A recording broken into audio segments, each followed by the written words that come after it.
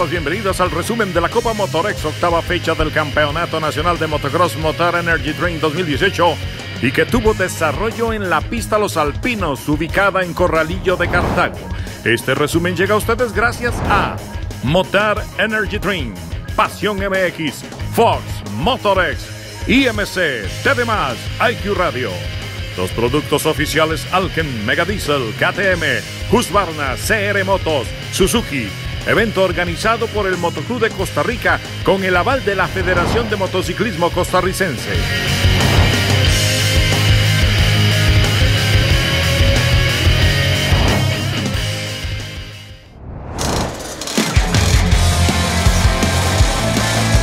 Damos inicio al repaso de la Copa Motorex, como es usual con la categoría de los más pequeños del motocross nacional, la Junior. Esta jornada en Corralillo fue particularmente larga desde el sábado debido a la reposición de varios hits que estaban pendientes de la fecha anterior más la programación completa. El objetivo de la Asociación Motoclub de Costa Rica es llegar lo más al día posible de cara a la gran final el próximo mes de noviembre. En esta rama, el piloto Angel Araya con el 128 de Coronado fue el vencedor de la fecha con puntuación perfecta de 50 puntos. El segundo lugar quedó en manos de quien llegaba como líder de la Junior, Joseph Correa, con la número 70. Y la tercera plaza fue para el pequeño Lucas Crossi con el 298. Aunque varios pilotos aseguraron el título en esta fecha, esta categoría se definirá en la gran final.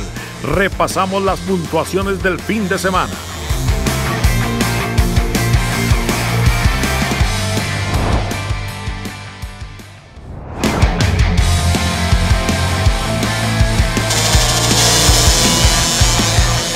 El piloto número 27, Pablo Moreno de Motul Maxis Puro Motor, fue el ganador de la fecha en la categoría de los 50A. Obtuvo 50 puntos superando a rivales como Antonio Antillón con el número 25 y Julián Arturo Cruz con el 711. Ellos cerraron segundo y tercero de la fecha. El podio de la 50B lo integraron Fabricio Ríos con el número 47 junto a Dominique Canales con la 126 y el 298 Lucas Crossi. Repasamos los puntajes respectivos.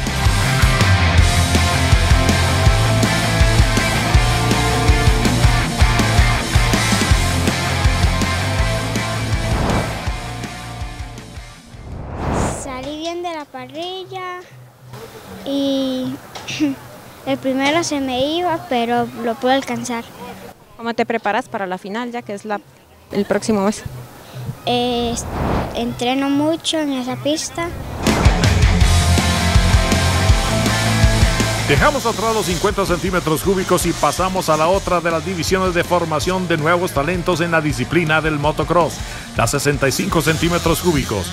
En la Copa Motorex, Abraham Alfaro, el ciclón de Turrúcares, regresa al protagonismo de la subdivisión A con el número 92 ganando ambos hits del fin de semana. Felipe Valverde con el número 344 y Eddie Corea con el 132 terminaron segundo y tercero del fin de semana. El número 53, Jack Dávila, sumó una nueva victoria en la 65B con registro de 50 puntos. El 27, Pablo Moreno se quedó con la segunda casilla y Daniel Torres con el 83 fue tercero. Estas son las puntuaciones.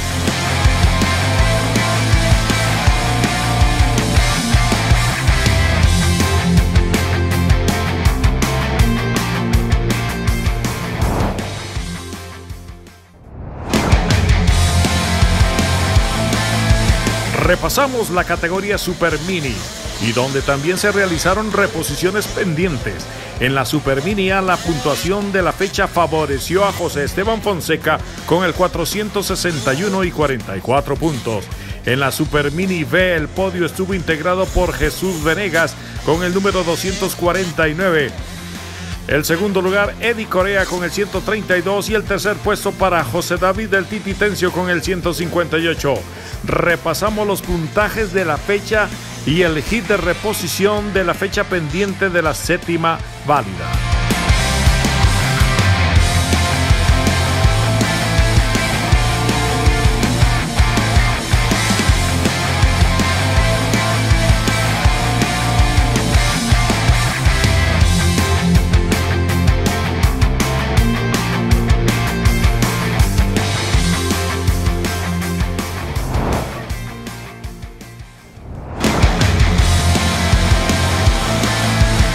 Continuamos con más del repaso de la Copa Motorex, octava fecha de la temporada 2018 del Motocross Nacional y es el momento de la categoría amateur. División que también enfrentó una larga jornada por reposiciones pendientes de la fecha anterior. Por la fecha 8, Johan Villegas con el 611 continúa haciendo méritos para dar pelea por el título en la última fecha del campeonato frente a sus rivales más cercanos, John Jairo Umaña con el 112 y Daniel Zamora con el 308, quienes cerraron segundo y tercero en esta ocasión. Por reglamento y eliminación de las 12 peores presentaciones de cada piloto, la definición en esta categoría será muy disputada, ya que extraoficialmente un punto separa a Zamora de Umaña en la general y Villegas tiene también fuertes opciones a obtener el título. Repasamos el podio y las puntuaciones de la fecha 8 y los puntos completos de la fecha 7.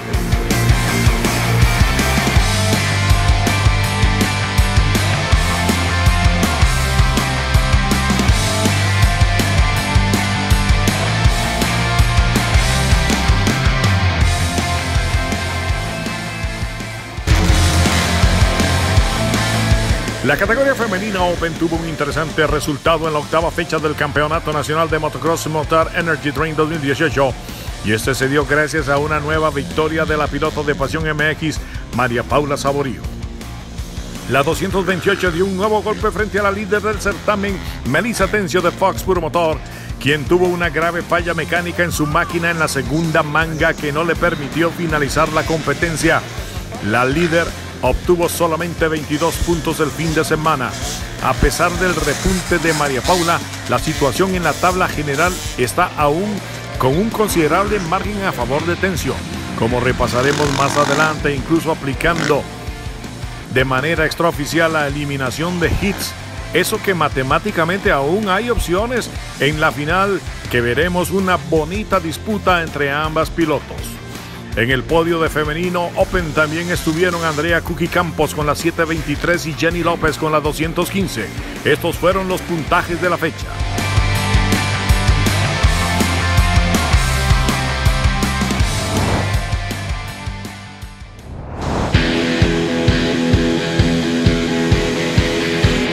La categoría de los dos tiempos también tuvo prácticamente su definición en los alpinos, ya que Esteban Mora con el número 11 de Pasión MX hace todos los méritos para llegar a la gran final con el título en la mano.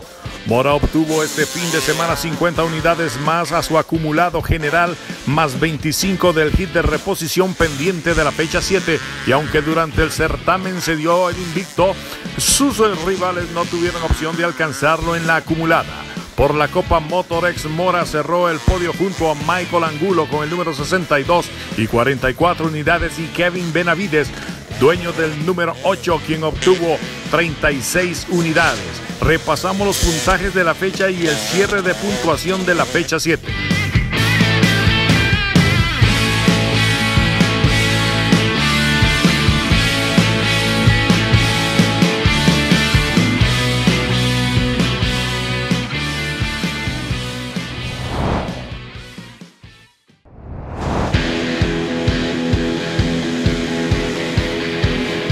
Continuamos con más de este resumen de la Copa Motodex y reseñamos ahora lo acontecido en la rama de los veteranos y donde gracias a una gran temporada tanto Adrián Robert como Alberto Antillón se aseguraron por adelantado un nuevo título nacional en sus respectivos palmarés. En veteranos mayores de 40 años, Robert, el multicampeón nacional con la número 60, se dejó una nueva victoria de 50 unidades y llega extraoficialmente a 400 puntos, gracias también a los nuevos 25 que sumó en el hit de reposición pendiente de la séptima fecha. Ya matemáticamente tiene el título en sus manos. El podio de la jornada destacaron junto a Robert, Alexander Bolaños con la 7.35 y Álvaro Rodríguez con la 7.41. En veteranos mayores de 46, Alberto Antillón, piloto número 21, tiene la misma situación que Robert y ya cuenta con el cetro en sus manos. El podio lo completaron el piloto número 45 Iván Espeleta con 44 unidades y el 145 Edward Ceciliano con 38. Carlos Luis Arce con la máquina número 543, Johnny Sánchez con la 214 y Fernando Villalobos con la 33 integraron el podio en veteranos mayores de 56 en pista Los Alpinos. Repasamos las puntuaciones de la octava fecha en veteranos, además de las posiciones generales de la fecha 7 que estaban pendientes también en esta categoría.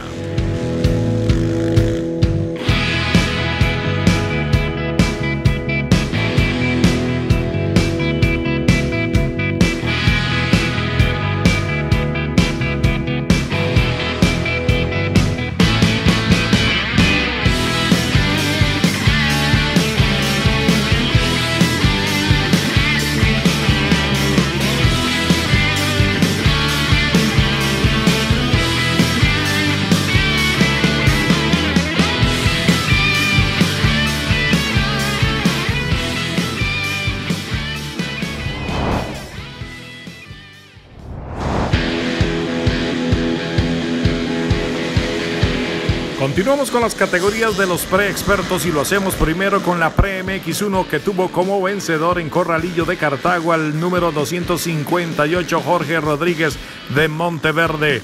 En este caso la definición del ganador se dio por el mejor resultado en el segundo hit ya que se registró un empate con 45 frente al segundo lugar Mauricio Vargas con el 311. Rodríguez obtuvo una combinación de un tercer y un primer lugar para asegurarse la victoria y Vargas un primero y un tercer lugar. El tercer lugar de la fecha fue para Juan Carlos Quiroz, piloto portador del número 225 con 44 unidades. En Pre-MX2 el vencedor fue Joe Fraser Garro, quien continúa haciendo bien las cosas para dejarse el cetro de campeón. El 122 obtuvo la victoria con los dos hits en disputa. Con empate en puntos cerraron la fecha el número 76 Dylan Quiroz Fonseca y el 248 Luis Diego Mora de Ojancha. Repasamos las puntuaciones.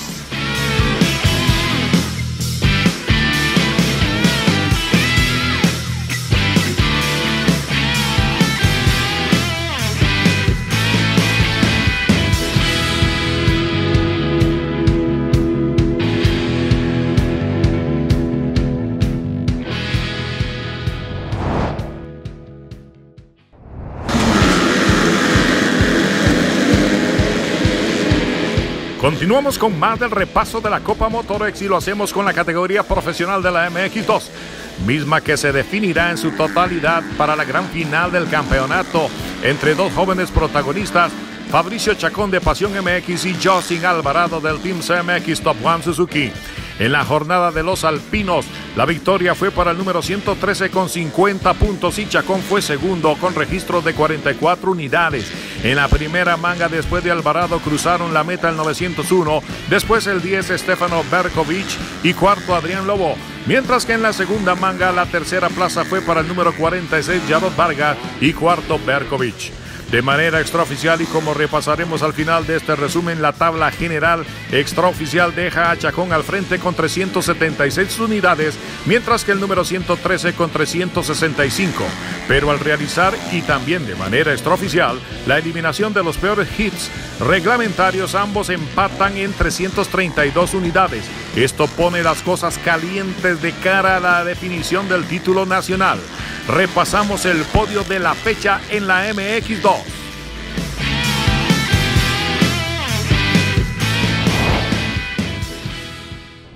Sí, creo que eh, tenemos un nivel muy, muy parecido. Ese es mi pensar. Creo que y entonces hay que dar lo mejor de, de sí fecha a fecha y de eso es lo que creo que nos ha ayudado también a mejorar un poco el, el, el nivel de, de, manejo y, y, no, a seguir adelante y, y, ver qué nos prepara ya para la última fecha. un cuarto de que terminara el hit, eh, se me rapó la moto, eh, se me fue de las manos y bueno, quedamos de segunda en la fecha, este, vamos empates en el campeonato y ahora se define todo en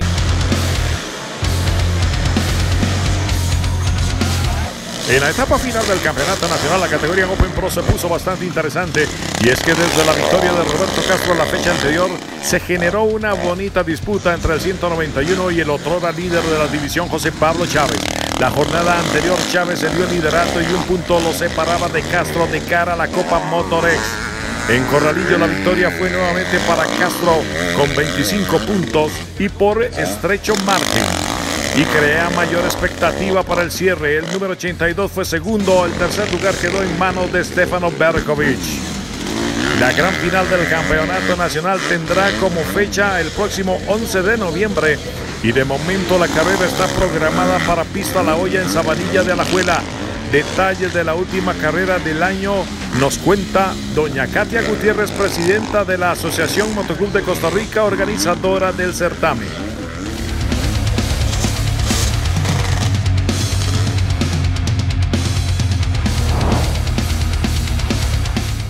Motoclub había elegido con antelación eh, la pista La Olla como la final. Creo que es un escenario que, que se ha venido utilizando durante varios años y, y teníamos un convenio y vamos para la, para la olla como, como ya había sido contratado.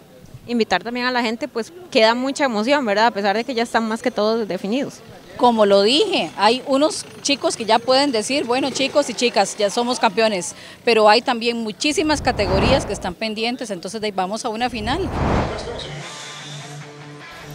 Llegamos al momento de conocer lo que sucedió en la categoría mayor del motocross nacional, la MX1, que corre junto a los pilotos de la Master.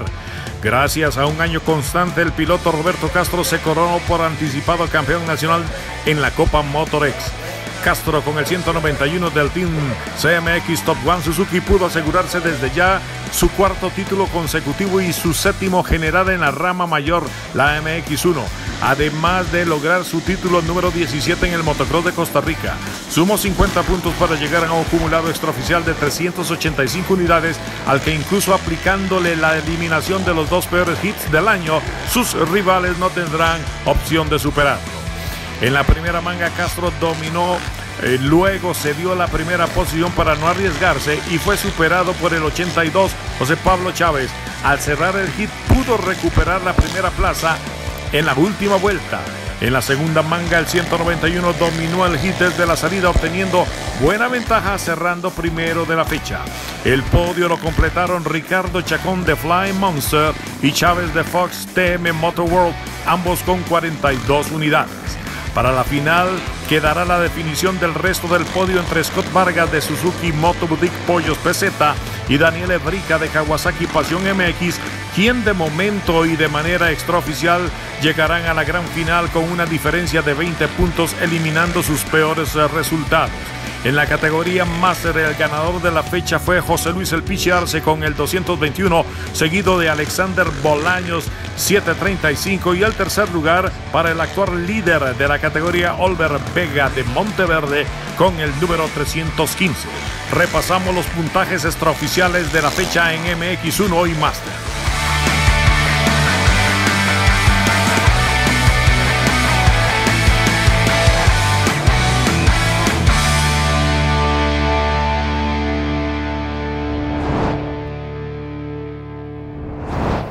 Y bueno, muy contento eh, de, terminar acá. Hoy tuvimos una pista complicada, eh, como siempre, pues Corralillo eh, complica las cosas, es una pista muy simple y bueno, lo, que, lo cual dificulta las cosas, las diferencias entre pilotos son muy escasas y, y hoy era una, un circuito que se prestaba para cometer muchísimos errores.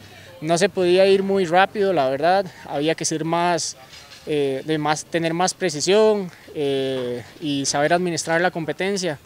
Eh, y bueno, muy contento con el resultado. Ganamos los dos hits de la MX1, el hit de la Open y ahora pues ya solo, solamente nos queda una carrera. Y ahora repasamos los puntajes generales de todas las categorías luego de desarrollada la octava fecha del Campeonato Nacional.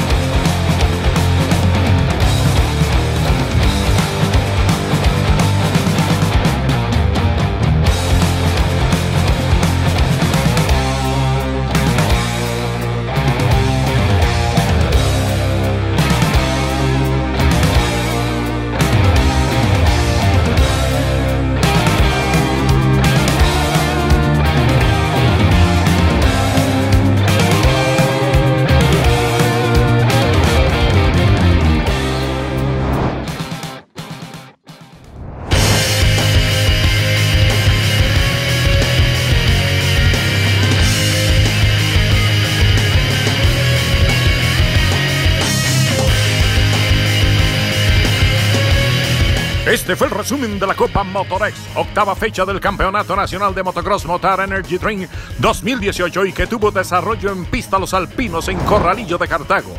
Este resumen llegó a ustedes gracias a Motor Energy Drink, Pasión MX, Fox, Motorex, IMC, TD+, IQ Radio, Productos oficiales Alken Mega Diesel, KTM, Husqvarna, CR Motos Suzuki. Los esperamos en la gran final del Campeonato Nacional que se realizará el próximo 11 de noviembre en Pista La Hoya en Sabanilla de Alajuela. Evento organizado por el Motoclub de Costa Rica con el aval de la Federación de Motociclismo Costarricense.